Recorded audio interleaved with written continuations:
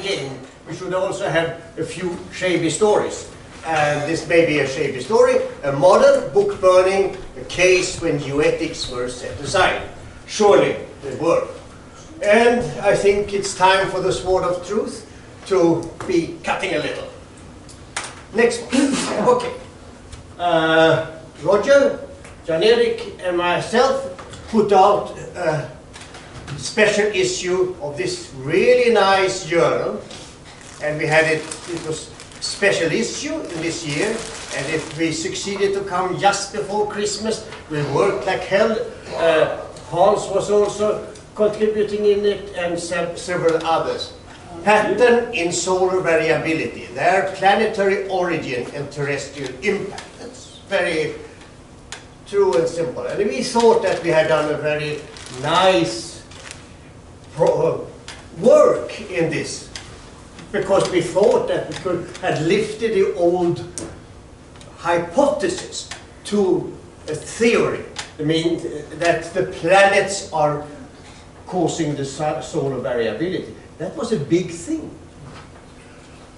But then we did something else, because all the papers there, or most of the papers, went through the solar system and came to similar conclusions from different angles. And it's interesting that it's different angles. So whatever you do there, you end up that, yes, we are on the way into a new uh, um, uh, grand solar minimum. That means com completely contrary to what IPCC say. We are going into a cold period, not into a warm period. And then things happen. Here comes, wham, the sword of, of not true truth, but the sword of, I don't think what it is, but like hell was, somebody from hell came and visited the world. And um, out of this came this book which you have seen, planetary influence on the sun and the earth, and a modern book burning. Okay? A you modern should, book burning, I will speak. You should say what happened to the to the journal. I'm coming to that. this is just the background. This is just the background. So, but you can also see because this was closed down, which I come to, uh, the outcome of that was this book. Uh, the first part was easy to sell and I had it in Bentham, and Bentham was very excited about it, and no problem. But when they saw the last part, Modern Book, they turned it down, and I had to go to Nova, and they printed it, and all was very excellent, only the price is terrible, and I couldn't do anything about that. but I got it published. So, that is something about the uh, background. The book burning is always primitive and unacceptable. Usually it happens centuries ago. This one happened 2014. It fills us with uh, disgust and must be condemned. Oh, it's our, our special issue, burning. We were not burned, but the book was burned. Back to, to this again, um, collected with 14 different pa papers, all in this quite nice uh, in this pattern recognition in a modern book burning. On the 17th of January, Mr. Rasmussen of Copernicus publication suddenly closed down the scientific journal. Uh, the decision came without discussion, without warning, and was absolute. The journal was finished and cancelled, cancelled as a journal of the Copernicus publication. This should be here. Uh, and uh, in the general discussion, general conclusions when of this book, when 19 eminent scientists, you have them all listed up here. It's a good group of people, with a, all with a fine background. Several of the paper in the special issue addressed the question of approaching new solar minimum. The conclusion was quite straightforward. That's what it. Obviously, we are on the way into a new grand solar minimum. Nothing problem with that. That's exactly coming from what our facts. And that is exactly what you should have in a conclusion. because that's what the, the different uh, authors had written. But then comes what we co- uh, now come with. This sheds serious doubt on the issue of a continual, even accelerated warming as proposed by the IPCC. That's quite innocent, isn't it? I mean, oh, invocative, nothing. yeah. Maybe if it had a full stop after warming, it may not have been closed. You're still saying it correctly. Uh, uh, the last sentence, uh, uh, innocent as it reads, wa- uh, was to generate an unbelievable reaction by the manager, director of Copernicus, Mr. Uh, uh, Rasmussen. He was just a pawn. Yes, and we don't know what it is, but it is interesting. Somebody called, maybe it was you, Roger, who called my attention to a blog where Mr. Um, James Annan, Yes. his, IPCC his, author. I mean, he said the problem problems at the journal were first brought at my attention by Tim Sprague. Uh, just last night, I emailed various people to express my concerns, and the journal was closed down within 40, uh, 24 uh, hours. Proudly, he declared. And this guy's an IPCC lead author. Yeah. So, Well, you can tell, don't you? Uh, So there we have something. In, this book there is a special little issue on called that uh, these terrible gatekeepers, beginning when, with Co- Copernicus. Okay? Because Co- Copernicus, when he wrote his wonderful uh, revolutionary book, but he was he was old, and it was a hand of, one of his students, and the student got promoted to a professorship, and it had to uh, taken over by Osiander, uh, um, and he wrote an anonymous uh, preface. So it looked like if uh, it was uh, written by Copernicus himself where he, so to say, this is, this is just a hypothesis. I don't claim it is like that, just a hypothesis. And of course, it was deadly right, it was observational fact in Copernicus. So, and uh, Giordano Bruno uh, immediately understood what it was all about and said, said um, uh, that he is stupid he said something nice in the Italian was about he, this man which has written it uh, cannot be Copernicus because this one is a stupid ass. and uh, then I said, okay, Rasmussen deserves exactly the same wording. What it led to, it was primarily Monckton was very upset and wrote a very nice article in uh, Tallbloke uh, and also around the world. So we wanted to save our fine papers in some- a new. And we tried to do that, but when, we, when I had it in Bentham, said, no, no, no, no, we cannot pub, republish something which is already published. You have to make a review of it. So I started to make a review out of all these 14 paper, uh, papers. And that's not so easy. But I sent it out to all people and they agreed. There were very little changes. So we had this. But then we had also this end uh, modern bo- book body. I had a chapter on the beginning, then came a whole section, section B here, um, earthly disharmony. The other was earthly harmony. He- Heavenly. Heavenly harmony. Heavenly Oh, sorry, Heavenly Harmony, and this is Earthly Disharmony of Modern Bokman.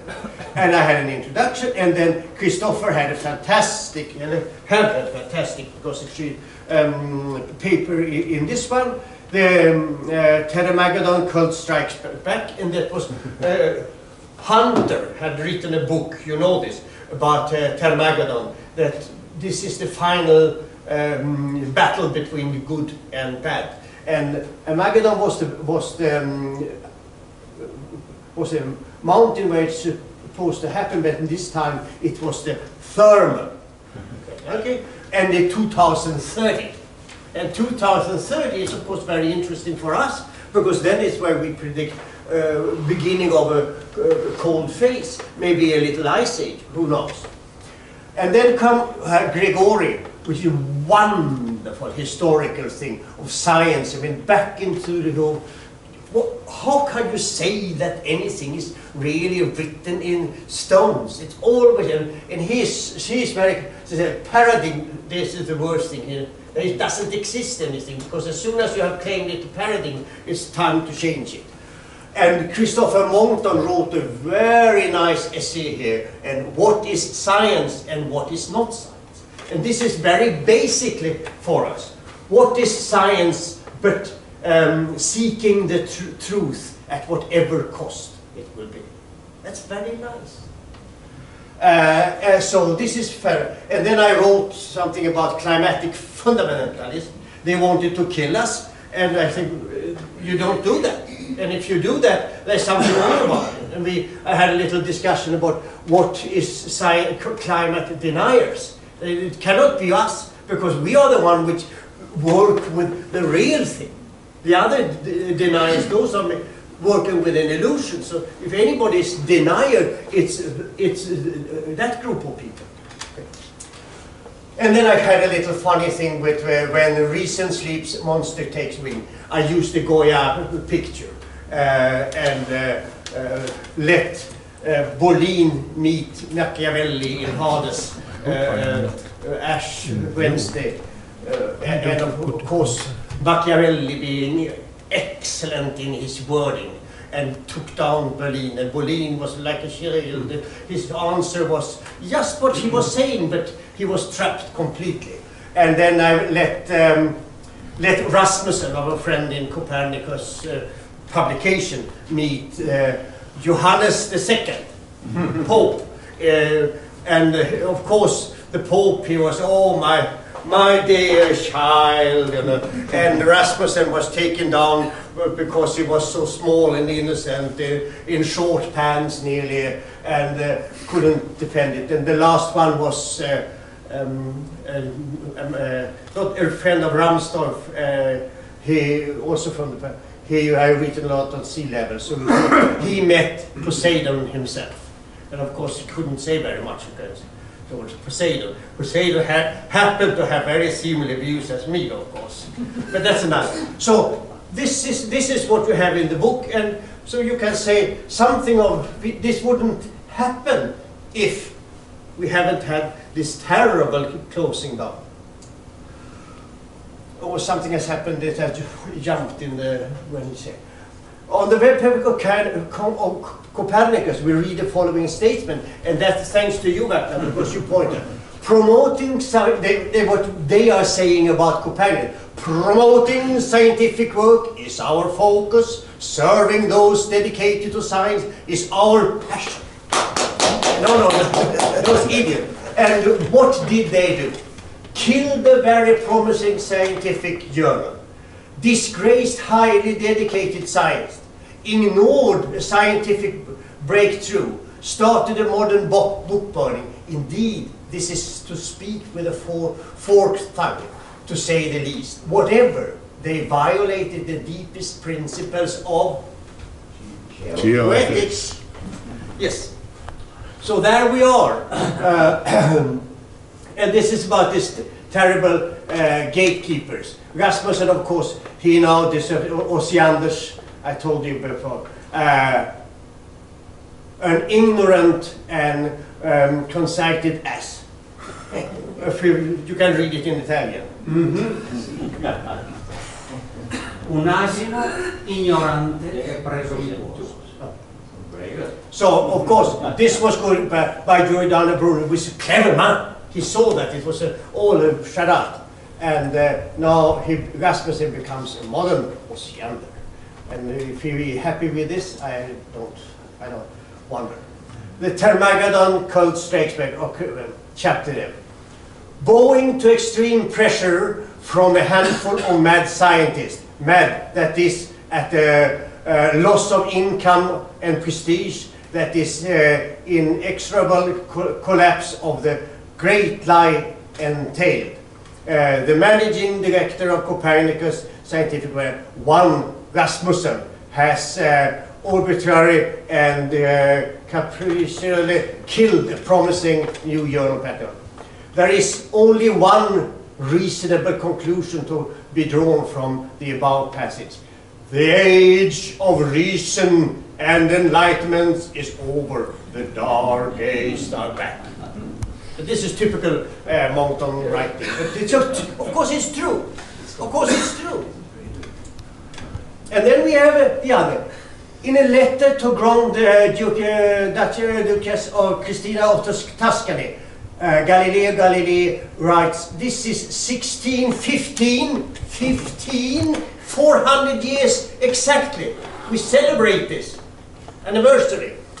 No one should be scorned in physical disputes for not holding the opinions which happen to please the other people best. Very good, yeah, Really very good. This is what this was in the year uh, 1650, precisely 400 years. Still the same uh, parochial views persist today, and you find that this in, uh, in the Nova book. And here we are, the special volume is just burning. And that is sad because it was a very good journal. Uh, it tried to, to be, uh, have a second privately driven by, by, by the main, uh, main editor-in-chief, uh, Crawford in um, uh, Algeria. But of course he couldn't, couldn't make the economy, so it's even closed down. But the papers are still on the net, not least in, uh, um, in Rogers' blog. And I think that's all. Just a small thing right now.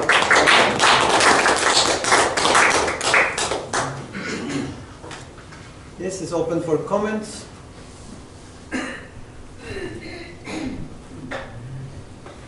Just a quick query then. Yeah. This book, Yeah, you haven't got any more copies, have you, at the moment? I, yeah you have to, you have to buy it. from- Yeah, I know from you the buy it, but, uh, And you, you got a special offer. That's It's my- not, it's not very uh, much, twenty percent off, but, but you all got the possibility. And if you take that 20 percent off and go to your library and say, "You- this is a good book, buy it. This was Hans, uh, Yeah, Send it, send it. I'm going to send it down, mate. Your brother in, you should ask. Roger, you've got it. I have, no, I have a limited number of copies of the journal. Original journal. Yeah. Do you have on the, on the special issue? Yes. You want to sell it for them? To them? Do you Well- want to sell it to Yes, people? I- Um, No, yeah, no, yes. This is becoming, of course, very, the special issue was printed in, uh, I think not more than 50 copies or something. So the- those of us who ordered it to have, are sitting on a valuable uh, piece of of yes, I scientific mean, art. if you, if you want to support the work that we're trying to do, then be prepared to offer a very good price for, for Yeah, a copy of the auction. original journal. You want, you soon get it. Um, I have some too, yes. Oh, box. I think I have about seven or eight. Uh, I share with you the criticism on uh, behalf of uh, IPCC, uh, which concerns the influence of man-made warming. Uh, I agree with what you say. However, the global warming, whether be produced uh, by man or by nature, can hardly be denied. Uh, The uh, uh, mountain uh, glaciers are melting away, it may be observed. Yeah, but that- Thank you. But that is a completely different story. I tried to address it partly, very briefly, in my first lecture. Because certainly there are climatic changes, but the people here, we are believing that that is a natural process. Then the question is, what is driving it? And what we have been finding here, all of us, not least uh, uh, our dear um, chairman, is that it's primarily driven by solar variability. Okay. Planet But how you say we are entering the, the minimum of sun activity. Yeah. But uh, we see that mountain glaciers are uh, are Yeah, this is also, wait, wait, wait, yeah. Can I address Yeah, I, you should address it, but let me answer. The question is where and where. One of the best glaciologists is, uh, is Don Easterbrook. There's another Easterbrook than the one you talk about, Don Easterbrook. He has gone through this material, and very many places it is advancing and not really. You cannot have a generalization. We have in Antarctica where they say it certainly is not decreasing there, rather expanding. What was happening is in the Arctic, up to the year 2000, it became well, warm Arctic water spilled over into the Barents Sea. so. It, of course, warmed it up. But that cycle is over. Uh, Jan-Erik showed it. So in the last um, 15 years, it is really on its way of cooling. But in the previous time, of course, it was a warming. That warming was then uh, said to be to go so far that the, the Arctic would be open. But to melt water, ice, which is still already floating in the ocean, doesn't affect the global sea level at all. Because it it doesn't affect the uh, sea level, but uh, it, uh, uh, it is uh, uh, proved that uh, the, the, the, uh, Melting. uh, uh, the melting is proof that the, the, the temperature grows. Yeah, but no one denies that. No one denies that. let Wait, Ron yeah, but I- explain. yes, no one denies that. Look at it, the picture he showed. It is a warming up to 2000, and then after that is a cooling. And we have seen in the last year the, uh, the Arctic volume has increased, not decreased. It was 2008. It was at, the, at its lowest. uh, the, uh, uh, the warming, even, uh, of course, with uh, oscillations, but uh, uh, uh, global warming on the large time scale may hardly be, not, be denied.